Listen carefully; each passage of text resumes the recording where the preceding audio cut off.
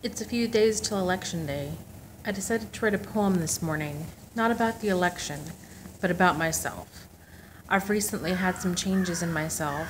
I've gone through therapy, I'm healing from schizophrenia, and I have developed a new sense of self acceptance. This poem is about that. It's called When I Stand. When I stand, I don't dominate the room. When I stand, I don't have a commanding presence because I won't command you. I stand like a grandmother cherishing her life, the look in her grandbaby's eyes.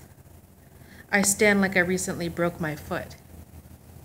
I stand for myself with all the comfort in myself I bring to the table. You won't hear me stomping on the floor. I don't walk like a ninja, but it's pretty close. I cannot write poetry without self acceptance. I'm ready to make my move.